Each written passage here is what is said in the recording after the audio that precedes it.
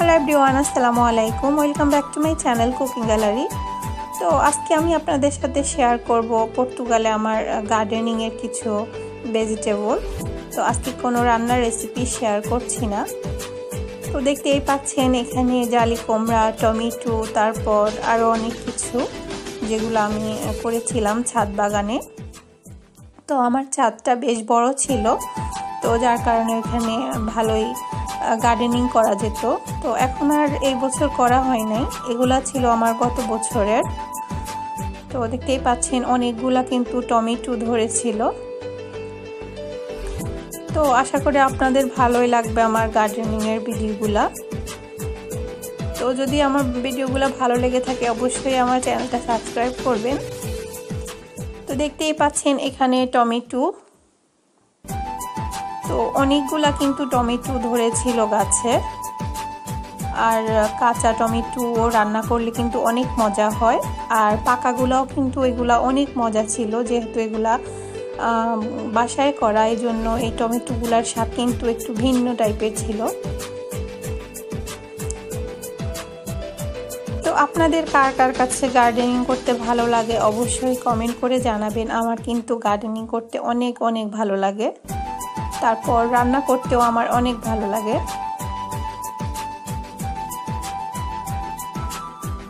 তো আমি এখানে আমার গার্ডেনের যে টমেটো, পাকা টমেটোগুলা, ওইগুলা কেটে নিচ্ছিলাম। তো একটু ভিডিও করছিলাম তখন।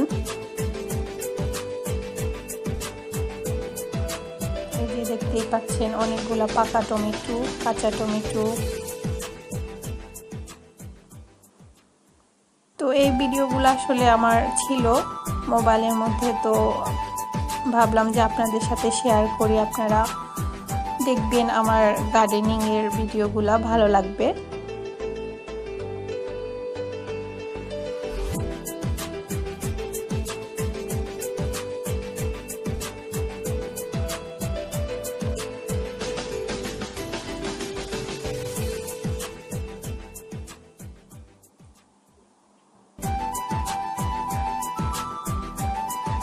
আর কাঁচা টমেটো দিয়ে কিন্তু গুঁড়া মাছ দিয়ে রান্না করলে অনেক মজা হয়। ছোট ছোট কাচকি মাছ যেগুলো আছে, ওইগুলো দিয়ে কাঁচা টমেটো রান্না করলে কিন্তু অনেক মজা হয়। জানি না আপনারা কি ওইভাবে রান্না করেছেন কিনা, যদি না করে থাকেন অবশ্যই রান্না করবেন। কাঁচা টমেটো দিয়ে ছোট কাচকি মাছ দিয়ে।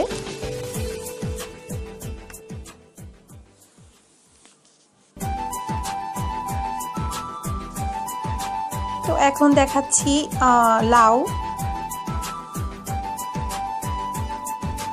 এই যে দেখতেই পাচ্ছেন একটা লাউ এখানে হয়েছে। তো একটা লাউই শুধু ধরেছিল গাছে। আর অনেকগুলা কিন্তু বের হয়েছিল, কিছুদিন পর পর ওগুলা নষ্ট হয়ে গিয়েছিল। তো শুধু একটা লাউই বড় হয়েছিল। তাতেও আমি অনেক খুশি, কারণ ধরে তো ছিল। কারণ লাউ নিজের গাছের ওটা তো অনেক মজা। আর এগুলো হচ্ছে মিষ্টি আলু গাছ। মিষ্টি আলু গাছের পাতাগুলো কিন্তু অনেক মজা হয় রান্না করলে। আপনারা কেউ খেয়েছেন কিনা জানি না। তো অ্যালোভেরা গাছও আছে এখানে। অ্যালোভেরা, আমার অনেকগুলো অ্যালোভেরা গাছ ছিল।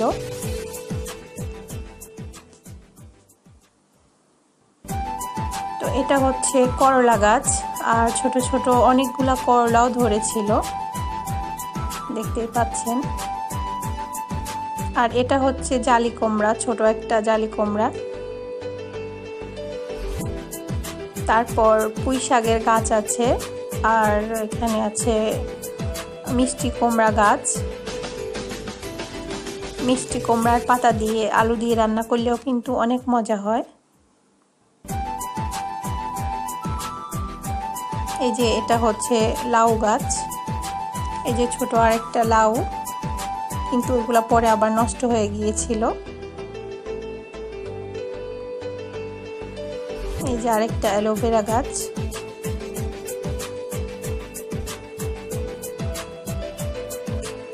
মিষ্টি আলু গাছ। এই যে মরিচ গাছ, টমেটো গাছ, আর এগুলা হচ্ছে পুঁই শাকের গাছ। আমি কিন্তু পুঁই শাকেরও অনেক তরকারি খেয়েছিলাম। আর করলা। করলা কিন্তু অনেক বেশি বের হয়েছিল বাট অনেকগুলা ছোট ছোট থাকতে কিন্তু এগুলা পেকে গিয়েছিল, বড় হতো না। আর বড় হয়েছিল অনেকগুলা।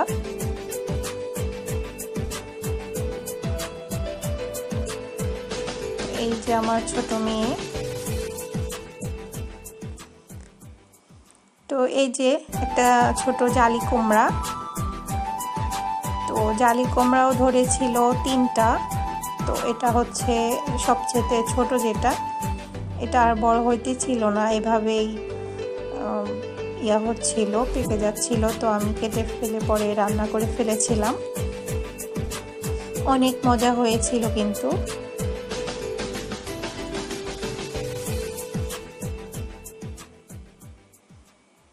আর এই যে আমি কিছু করলাও কেটে নিচ্ছি রান্না করার জন্য।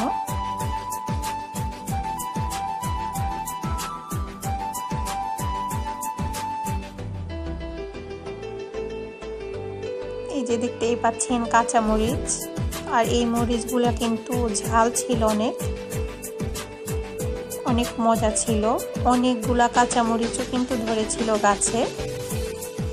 তারপর ক্যাপসিকামের গাছও ছিল, ক্যাপসিকামও ধরেছিল। বাট অনেকগুলা মরিচ ধরেছিল কিন্তু গাছের মধ্যে।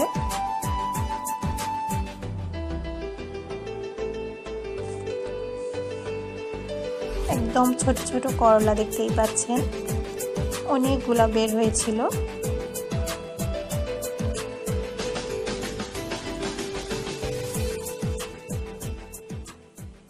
তো এটা হচ্ছে লাউ গাছ। এই যে লাউ ফুলগুলা কিন্তু অনেক ভালো লাগে দেখতে।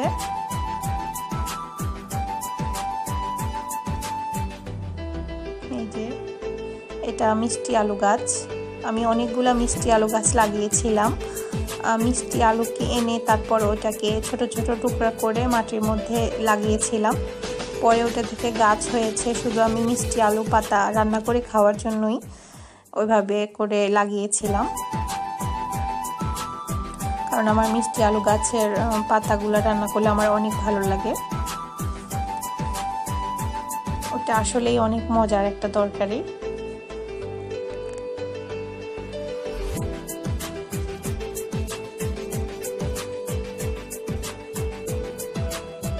আমার এই যে আর একটা অ্যালোভেরা গাছ, অনেকগুলো অ্যালোভেরা গাছ ছিল। এরপর আবার ছোট ছোট অ্যালোভেরা গাছ বের হয়েছিল বড়টা থেকে। এই যে আরও দুইটা মিষ্টি আলু গাছ। আমি সবগুলাই মিষ্টি আলু গাছের কিন্তু যে ডাটাগুলা থাকে, ওইগুলা লাগানো হইলে ইয়ার মধ্যে, মাটির মধ্যে, ওইটা থেকেও আবার কিন্তু গাছ বের হয়।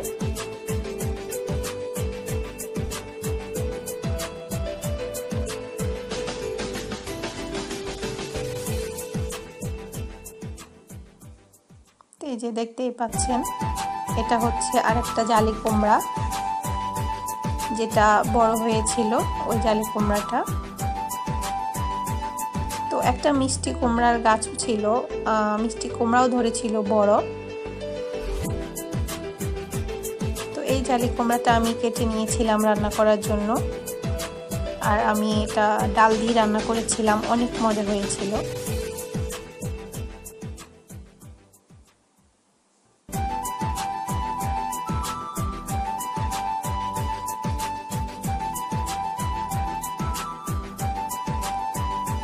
এই যে দেখতেই পাচ্ছেন করলা।